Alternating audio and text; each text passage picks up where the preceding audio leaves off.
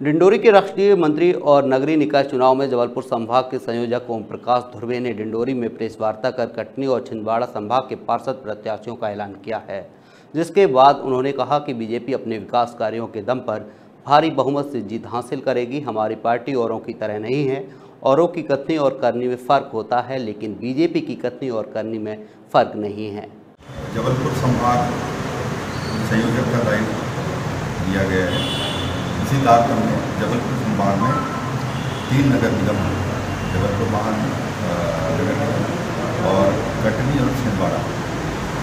तो प्रथम सूची में कटनी और छिंदवाड़ा नगर पालिका निगम के पार्षदों की सूची, माननीय प्रदेश अध्यक्ष बी डी शर्मा जी, माननीय संगठन महामंत्री हितानंद शर्मा जी के निर्देशानुसार हमने पार्सल की सूची जारी